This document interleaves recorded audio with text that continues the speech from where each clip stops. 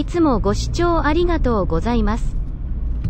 本日は大激戦区のミドルクラスの SUV おすすめトップ5を発表いたします。当チャンネルではこういった車関連の動画を日々配信しておりますのでチャンネル登録の方よろしくお願いいたします。それでは本日の内容に入っていきましょう。国産ミドルクラス SUV おすすめ第5位が日産エクストレールです。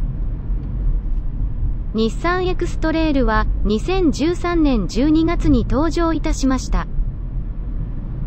エンジンは 2000cc のガソリンとハイブリッドの2種類のエンジンがあります。エクストレールのスペックを見ていきましょう。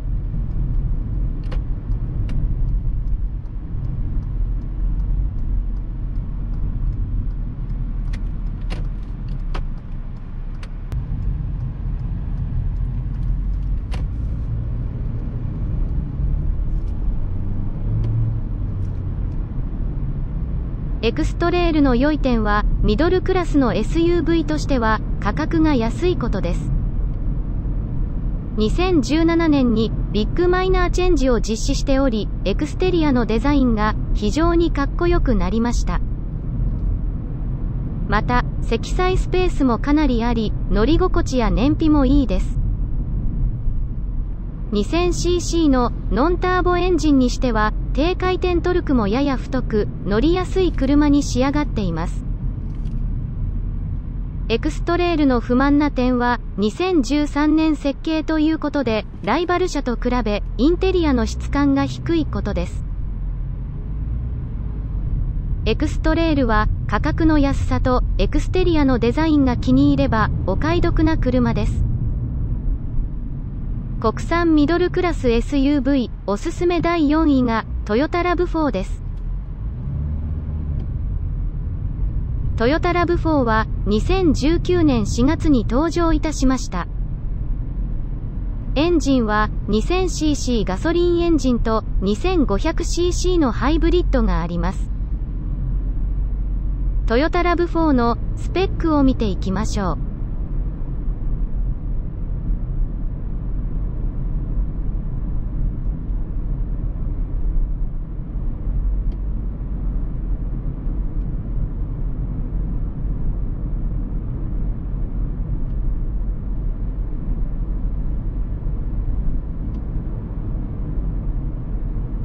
トヨタラブ4の良い点は 2000cc のノンターボエンジンで171馬力のパワーがあることです。発進ギアのついたダイレクト CVT を採用しており、ダイレクト感のある加速を楽しめます。また、ダイナミックフォースエンジンの音もよく、TNGA、プラットフォームを採用しているので、走行性能も高いです。内外装の質感も高く、値段の割にコストパフォーマンスの高い車に仕上がっています。トヨタラブ4の不満な点は、車幅が 1855mm あり、車両間隔が取りにくく、狭い道では運転しにくいことです。また、ミドルクラスの SUV としては、荷室が少し狭く、積載性が低いです。トヨタラブ4は SUV らしい内外装のデザインとそこそこの走りを楽しみたい人におすすめな車です。国産ミドルクラス SUV おすすめ第3位がスバルフォレスターです。スバルフォレスターは2018年6月に登場いたしました。フォレスターは 2500cc のガソリンと 1800cc のターボエンジン、2000cc のハイブリッドエンジンの3種類のエンジンがあります。フォレスターのスペックを見ていきましょう。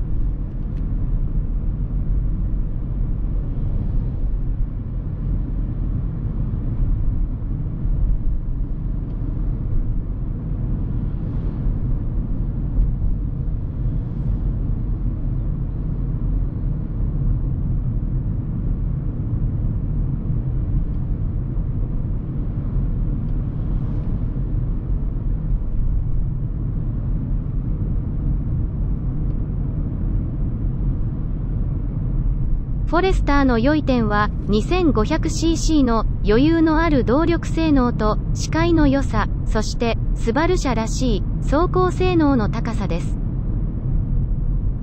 また、運転支援システム i サイトの搭載やトップクラスの積載スペース、AWD の性能など、他にも良いところはたくさんあります。フォレスターの不満な点は、他社の SUV と比べると、少し燃費が悪いことと、内外装のデザインがあまり良くないことです。フォレスターは、雪の降る地域に住む方々や、ウィンタースポーツが趣味の人に、おすすめできる車です。また、荷室もかなり広いので、車中泊が趣味の人にも、おすすめできる車です。国産ミドルクラス SUV おすすめ第2位がトヨタハリアーです。トヨタハリアーは2020年6月に登場いたしました。エンジンは 2000cc のガソリンエンジンと 2500cc のハイブリッドエンジンの2種類があります。ハリアーのスペックを見ていきましょう。ハリアーの良い点は、ラブ4と同じく 2000cc のダイナミックフォースエンジンを搭載していることです。TNGA プラットフォームの出来も良く、先代と比べ走行性能も格段に上がっています。昨年、登場したばかりなので、内外装の質感も高く、最先端のデザインをしています。ハリアーの不満な点は、ラブ4と同じく、車幅が 1855mm あるので、狭い道では運転がしにくいことです。また、車重が重い車であるため、出だしの加速がもっさりとしているところです。ハリアーは最先端の内外装の質感の高さや走りを楽しみたい人にはおすすめできる車です。また、燃費もそれなりに良く、トヨタの SUV なので、リセールバリューにも期待ができます。国産ミドルクラス SUV おすすめ第1位が、マツダ CX5 です。マツダ CX5 は2016年12月に登場いたしました。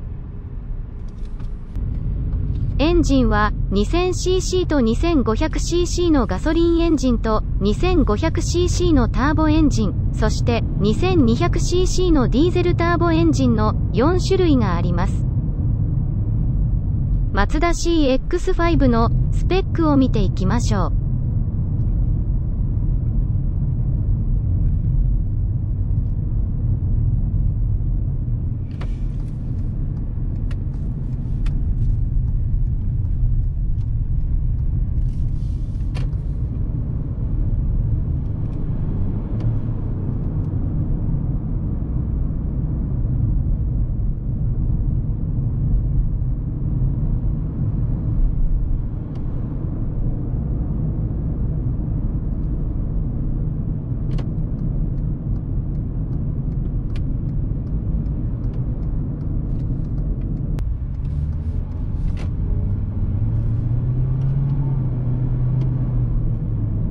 X5 の良い点はエンジンの種類やグレードが豊富で選びやすいところです。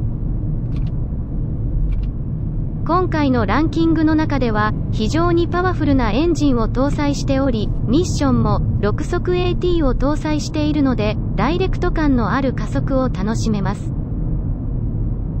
また、マツダの4気筒エンジンは低温で良い音がするのでエンジンを上まで回す楽しさもあります。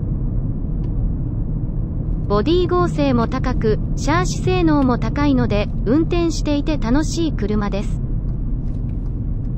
設計は少し古くなってきましたが、内外装の質感も高く、コストパフォーマンスの良い車に仕上がっています。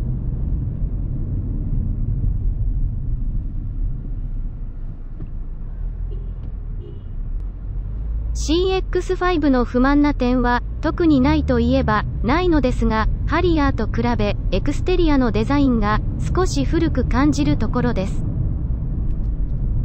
CX5 は6速 AT の回転フィールやエンジン音、走行性能の高さが売りの車であり、内外装の質感も高く、あらゆる人におすすめできる車です。国産ミドルクラス SUV おすすめ番外編が、ホンダ CRV です。ホンダ CRV は2018年12月に登場いたしました。エンジンは 1500cc ターボエンジンと 2000cc のハイブリッドがあります。ホンダ CRV のスペックを見ていきましょう。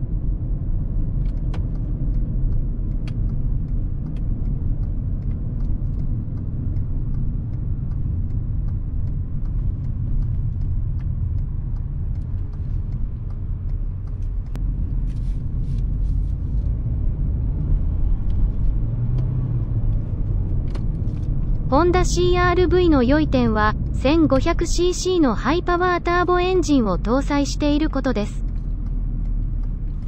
2500cc 並みの動力性能を備えており、出だしからスムーズな加速をします。SUV ブームですが、あまり売れていないので、所有する満足度が高いです。CRV の不満な点は、価格が高いことと、車幅が 1855mm あることです。以上が、国産ミドルクラス SUV おすすめランキングトップ5でした。